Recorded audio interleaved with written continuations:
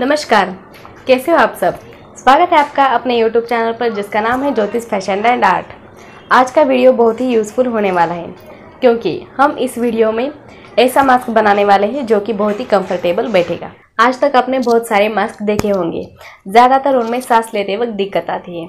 इस मास्क में वो दिक्कत नहीं आएगी। जो लोग चश्मा पहनते हैं, उनके लिए भी ये मास्क बहुत ही यूज़फुल होने वाला क्योंकि बाकी के जो मास्क होते हैं, उनमें सांस लेते टाइम और छोड़ते वक्त, उसकी भाप चश्मे के ऊपर जम जाती है और देखने में बहुत दिक्कत आती है। ज़्यादातर बाइक चलाते वक्त। इस मास्क में वो दिक्कत नहीं आएगी। तो फिर चलिए, आज का वीडियो स्टार्ट करते हैं। मैंने यहाँ पे कॉटन का कपड़ा लिया है। मैंने इसकी लंबाई सवा बारह इंच ली है। और ऐसे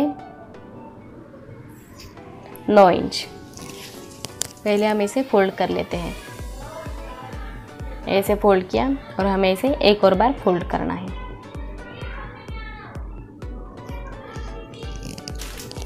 यहाँ पे हमने ये जो फोल्डिंग लिया है, वहाँ पे हमें लेना है अब। यहाँ पे हमें पाव इंच लेना है। पाव इंच पे यहाँ पे हम मार्किंग करेंगे। यहाँ पर भी और नीचे की साइड पर, नीचे की साइड भी।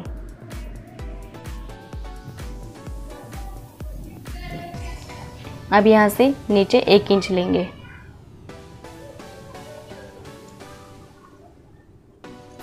और नीचे से ऊपर डेढ़ इंच लेंगे।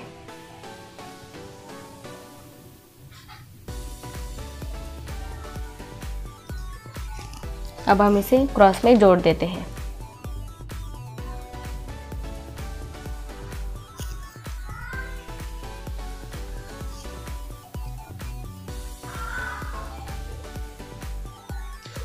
इस तरह से हमने जोड़ दिया। और मैंने यहाँ पे चार नॉट्स लग, नॉट्स निकाली हुई है। अब हम, अब हमें यहाँ पे यहाँ पे यहाँ पे और पूरी मास्क के पूरी साइड को स्टिच करना है। अगर आपने मेरा पिछले वाला two in one scarf plus mask का वीडियो अगर नहीं देखा है तो मैंने उसकी लिंक नीचे डिस्क्रिप्शन में दे दी है।